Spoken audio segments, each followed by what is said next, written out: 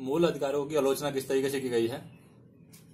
तो संविधान के भाग थर्ड में वर्णित मूल अधिकारों को व्यापक और मिश्रित आलोचनाएँ भी दी गई हैं। तो क्या क्या आलोचना है जो मूल अधिकारों की यहाँ पर की गई है? पहला है व्यापक सीमाएँ।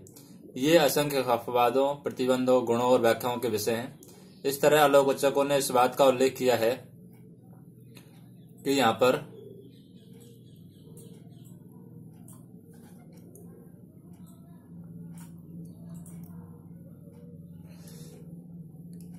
इस बात का उल्लेख किया है कि एक तरफ़ तो संविधान मूल अधिकार प्रदान करता है और दूसरी तरफ़ उन्हें छीन लेता है।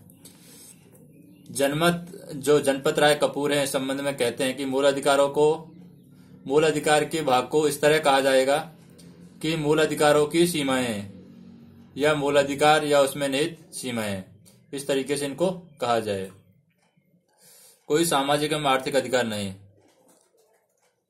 यह सूची व्यापक नहीं है। इसमें मुख्यतः राजनीतिक अधिकारों का उल्लेख है। कोई सामाजिक और आर्थिक अधिकार यहाँ पर नहीं दिए गए हैं। इसमें महत्वपूर्ण सामाजिक आर्थिक अधिकारों की व्यवस्था नहीं है, जैसे सामाजिक सुरक्षा का अधिकार नहीं है यहाँ पर। काम अधिकार, सामाजिक सुरक्षा का अधिकार, काम अधिकार, रोज़गार का अधिकार नहीं है।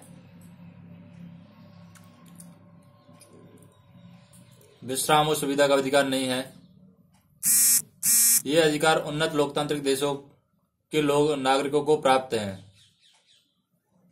समाजवादी संविधान, जैसे कि रूस और चीन में भी ऐसे अधिकारों की व्यवस्था की गई है। समाजवादी संविधान है, रूस और चीन में वहाँ भी ऐसी व्यवस्था है की गई है। स्पष्टता का अभाव। इसकी व्याख्या स्पष्ट और अनिश्चित और धुंधली है। कई अभिव्यक्तियाँ एवं शब्द, जैसे कि लोक व्यवस्था, अल्पसंख्यक, उचित प्रबंधन, सार्वजनिक हित आदि सभी व्याख्यात नहीं है। इनको समझने के लिए भाषा का प्रयोग किया जाता है। वह एक आम आदमी के समझने के लिए काफ़ी जटिल है। ऐसा आरोप भी लगाया जाता है कि संविधान को वकीलों के द्वारा, वकीलों के लिए बनाया गया है। सर आईवर जेनिंग्स ने भारतीय संविधान को वकीलों के लिए स्वर्ग की संज्ञा दी है। क्योंकि तो इसमें क्या है? स्पष्टता का अभाव है। फिर स्थायित्व का अभाव। ये उल्लंघनीय और अपरिवर्तनीय नहीं है। जैसे कि संसद इसमें कटौती कर सकती है। यह समाप्त कर सकती है। उदाहरण के लिए संपत्ति के मूल अधिकार को उन्नीस सौ अठहत्तर में समाप्त कर दिया गया। ये संसद में बहुमत वाले राजनीतिकों के एक हथियार है। न्याय क्षेत्र द्वारा बनाया गया मूल ढांचे का सिद्धांत इसमें मूल अधिकारों में कटौती, उनके समापन करने में संसद के अधिकार की सीमाएँ निहित है। आपातकाल के दौरान स्थगन। राष्ट्रीय आपातकाल के समय इनके क्रियान्वय का स्थगन केवल अनुच्छेद 20 और 21 के अलावा इन अधिकारों पर एक और प्रतिबंध है। यह व्यवस्था लोकतांत्रिक व्यवस्था की जड़ों को दुर्बल करती है और करोड़ों निर्देश लोगों के अधिकारों को समाप्त करती है। आलोचकों के अनुसार मूल अधिकारों को हमेशा रहना चाहिए, चाहे आपातकाल हो या सामान्य स्थिति। फिर है महँगा उपचार। न्यायपालिका इन अधिकारों की रक्षा और विधानमंडल व कार्य कार्यपालिका द्वारा इस पर हस्तक्षेप के विरुद्ध जिम्मेदार बनाया गया है। लेकिन न्यायिक प्रक्रिया आम आदमी के लिए काफ़ी खर्चीली है। इसलिए आलोचक कहते हैं कि भारतीय समाज में अधिकार सुविधा मूलतः धनाढ़ लोगों के लिए है। यानी धनी लोग हैं, उनके लिए ही है। फिर है निवारक निरोध। आलोचकों का मत है कि निवारक निरोध का उपबंध अनुच्छेद 22 के अंतर्गत मूल अधिकारों की मुख्य भावना से इसे दूर करता है। यह राज्य को मनमानी शक्ति प्रदान करता है। व्यक्तिगत स्वतंत्रता को नकारती है। यह इन आलोचकों, आलोचना को न्यायोचित ठहराती है कि भारत का संविधान व्यक्तिगत अधिकारों की तुलना में राज्य के अधिकारों को ज़्यादा व्यवस्था करता है। किसी भी लोकतांत्रिक देश में निवारक निरोध को भारत की तरह संविधान का आंतरिक भाग नहीं बनाया गया है। प्रतिमान दर्शन नहीं। कुछ आलोचकों के अनुसार मूल अधिकारों पर पाठ किसी दार्शनिक सिद्धांत की उपज नहीं है। सर आइवर जेनिंग्स ने कहा है कि मूल अधिकारों को किसी कीर्ति, प्रतिमान दर्शन के आधार पर घोषित नहीं किया गया है।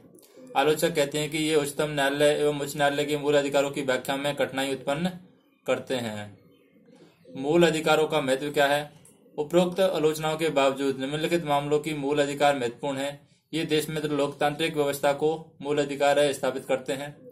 ये व्यक्ति की भौतिक एवं नैतिक सुरक्षा के लिए आवश्यक स्थिति है, उत्पन्न करते हैं। ये मूल अधिकारों का महत्व है।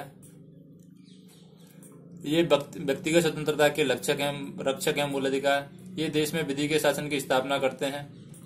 ये अल्पसंख्यक एवं समाज के कमज़ोर वर्गों के हितों की रक्षा करते हैं। भारतीय राज्य की धर्मनिरपेक्ष छवि को बल प्रदान करते हैं। ये सरकार के शासन को पूर्णता पर नियंत्रण करते हैं। ये समाज, सामाजिक समानता और सामाजिक न्याय की आधारशिला रखते हैं। ये व्यक्तिगत सम्मान को बनाए रखना सुनिश्चित करते हैं। ये लोगों को राजनीतिक एवं प्रशासनिक प्रणाली में भाग लेने का अवसर प्रदान करते हैं। भाग थर्ड के ये भार है। भाग थर्ड में सम्मिलित मूल अधिकारों के अतिरिक्त संविधान में कुछ अन्य भागों में अन्य अधिकार वर्णित हैं। इन अधिकारों को संवैधानिक अधिकार या विधिक अधिकार या गैर मूलक अधिकार भी कहा जाता है। तो भाग थर्ड के बाहर के अधिकार हैं। कौन कौन से अधिकार हैं? विधि के प्राधिकार के बिना किसी कर को अधिरोपित या संग्रहित नहीं किया जाना। भाग बारह में अनुच्छेद दो सौ पैंसठ में दिया गया है। विधि के प्राधिकार के बिना व्यक्तियों की संपत्ति से वंचित नहीं किया जाना। भाग तेरह में अनुच्छेद तीन सौ साठ, तीन सौ में दिया गया संपत्ति का अधिकार जो कानूनी अधिकार है। भारत में राज्य क्षेत्र में सर्वत्र व्यापार, वाणिज्य एवं समागय आबाद होगा। ये भाग थर्टीन में अनुच्छेद तीन सौ एक में दिया गया है। लोकसभा और राज्यों की विधानसभाओं के लिए निर्वाचन व्यस्क मताधिकार के आधार पर होंगे। ये भाग पंद्रह में अनुच्छेद तीन सौ छब्बीस में दिया गया है। यद्यपि उपरोक्त अधिकार समान रूप से न्यायोचित हैं, पर ये यह मूल अधिकारों से भिन्न है। मूल अधिकारों का उल्लंघन होने पर दुखी व्यक्ति, अनुच्छेद 22 जो कि स्वयं मूल अधिकार है,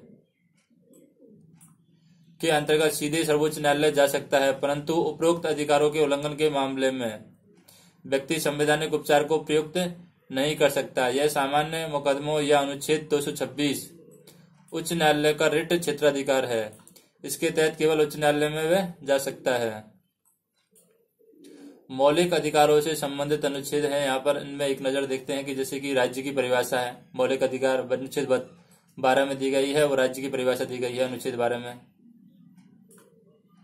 अनुच्छेद तेरह में है कानून को मूल अधिकारों के प्रति असंगति और अप्रतिष्ठा पूर्ण दी गई है। कानून के समक्ष समानता अनुच्छेद चौदह में दी गई है। अनुच्छेद पंद्रह में धर्म, प्रजाति, नस्ल, जाति, लिंग व जन्म के स्थान पर भेदभाव का निषेध किया गया है। अनुच्छेद 16 में सार्वजनिक रोज़गार के मामलों में अवसर की समानता प्रदान की गई है। अनुच्छेद 17 में अस्पृश्यता का अनुमूलन किया गया है। अनुच्छेद 18 में अपराधियों का उपाधियों का अनुमूलन किया गया है। स्वतंत्रता का अधिकार दिया गया है। स्वतंत्रता के अधिकार में हम देखते हैं कि अभिव्यक्ति की स्वतंत्रता अनुच्छेद उन्नीस में दी गई है। अनुच्छेद बीस में अपराधों के लिए दो सिद्धि का संरक्षण दिया गया अनुच्छेद इक्कीस में जीवन एवं व्यक्तिगत स्वतंत्रता का संरक्षण दिया गया है। अनुच्छेद इक्कीस ए में शिक्षा का अधिकार दिया गया है और कुछ मामलों में गिरफ्तारी और निरुद्धता से संरक्षण अनुच्छेद बाईस में दिया गया है। शोषण के विरुद्ध अधिकार है। ये अनुच्छेद तेईस में मानव, व्यापार और बालाश्रम से संरक्षण है। अनुच्छेद चौबीस में कारखानों में बच्चों के रोज़गार का निषेध करता है। शोषण के विरुद्ध अधिकार। धार्मिक स्वतंत्रता का अधिकार है। यह अनुच्छेद 25 से अनुच्छेद 28 दिया गया है। अनुच्छेद 25 में अंतकरण, धर्म के प्रकटन, अभ्यास और प्रचार प्रचार की स्वतंत्रता दी गई है। अनुच्छेद 26 में अनुच्छेद 26 में धार्मिक मामलों में प्रबंधन की स्वतंत्रता दी गई है। अनुच्छेद 27 में किसी विशेष धर्म को प्रोत्साहित करने के लिए कर भुगतान की स्वतंत्रता दी गई है। अनुच्छेद 28 में कुछ शैक्षणिक संस्थाओं में धार्मिक निर्देश और धार्मिक उपासना के लिए उपस्थित होने की स्वतंत्रता दी गई है। फिर अनुच्छेद उनतीस में सांस्कृतिक एवं शैक्षणिक अधिकार में अनुच्छेद उनतीस में अल्पसंख्यकों के हितों के संरक्षण के लिए अधिकार दिए गए हैं।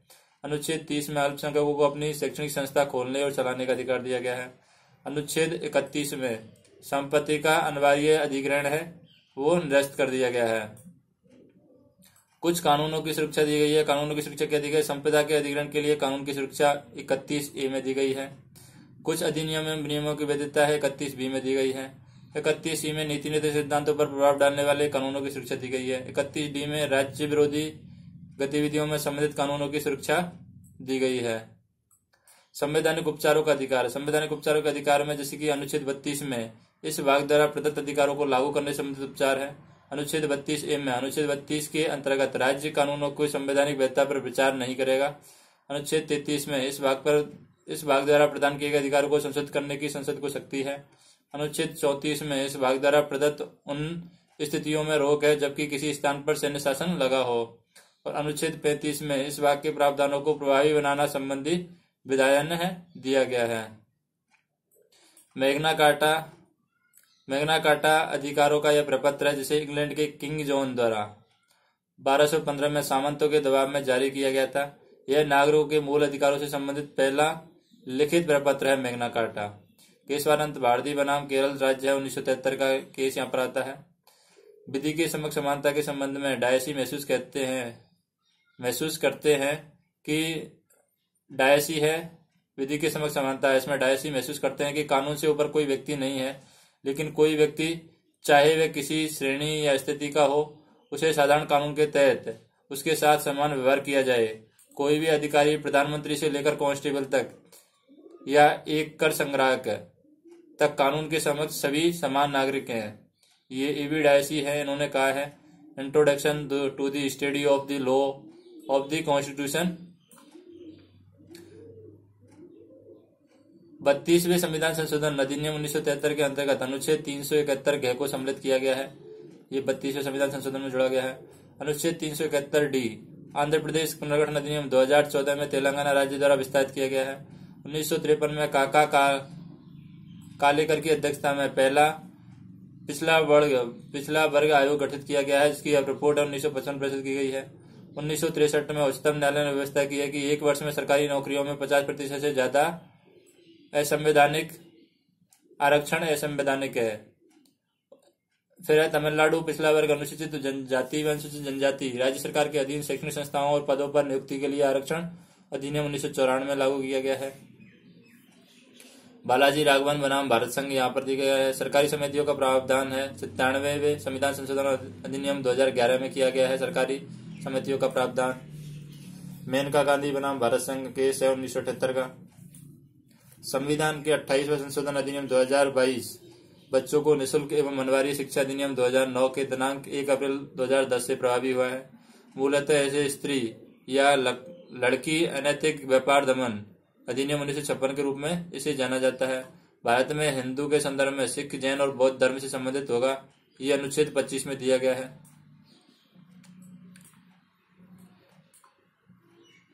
दूसरी यहाँ पर देखें कि भारत पहले संविधान संशोधन अधिनियम उन्नीस के द्वारा जोड़ा गया और चौथे, सत्रहवें और चौवालीसवें संविधान संशोधन के द्वारा जोड़े गए हैं।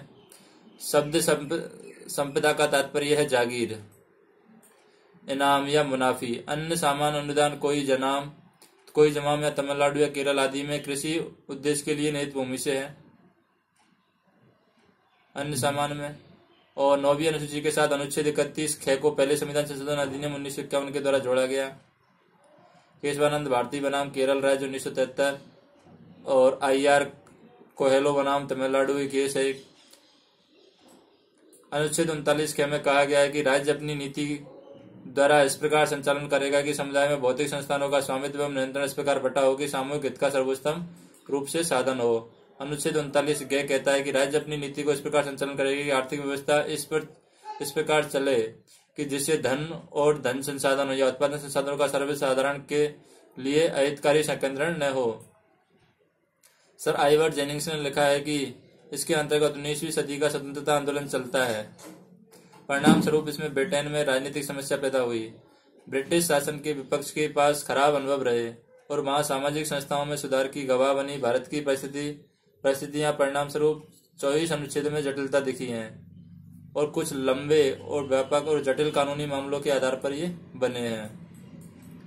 नेक्स्ट हम देखेंगे। राज्य के नीति निर्देशक तत्व।